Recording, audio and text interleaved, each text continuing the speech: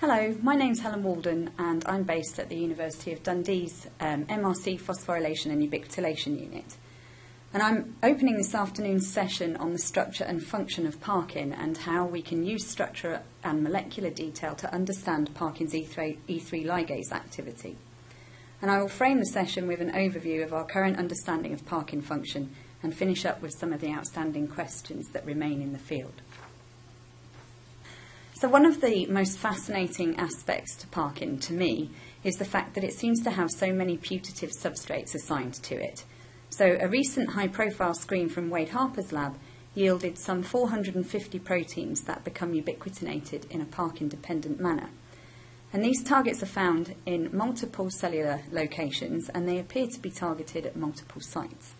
So, this extensive repertoire is unheard of in ubiquitin biology. There are no other ligases that have uh, this extensive list of substrates, and indeed, members of the same family as Parkin have very poorly defined target lists. So, Parkin is purported to play a major role in mitophagy, the clearance of damaged mitochondria, and in support of this, many of the candidate substrates highlighted here are found in the outer mitochondrial membrane.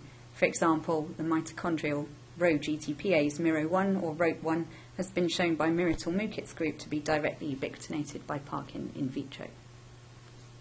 So Parkin is a multi-domain protein, and each domain has pathogenic patient mutations that are associated with it. And shown here is the, uh, a mixture of the high-resolution ring 0 RBR domains with the lower resolution UBL domain it's shown in green, modelled in. So the colours of the schematic across the top match the uh, structure. Now, we showed in 2011 that Parkin is not a constitutively active m- molecule, and in fact, it's auto-inhibited by the UBL domain. And the recent crystal structure from the Fon and Gehring groups shows that there are multiple interactions between domains. For example, the ubiquitin-like domain packs against ring 1, and the ring 0 sits on top of the required for catalysis RCAT domain. And patient mutations in different domains have different effects on Parkin activity. For example, in the ubiquitin-like domain, there are single point mutations that are sufficient to render um, Parkin active for autoubiquitination, and this is both in vitro uh, and in a cellular context.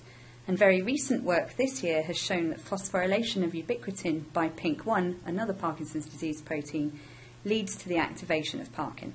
And this has opened up a whole slew of questions, which brings me to my final slide. So Parkin must now be one of the best structurally characterized ubiquitin ligases. There are high resolution crystal structures, lower resolution crystal structures, solution structures, low resolution full length structures in solution, and yet we still don't understand fully how it works. For example, there are many questions such as how is it activated by phosphoubiquitin and what happens to Parkin itself post activation.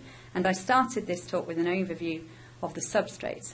And one thing that the structures have so far failed to give up its secrets is how Parkin recruits all of those substrates.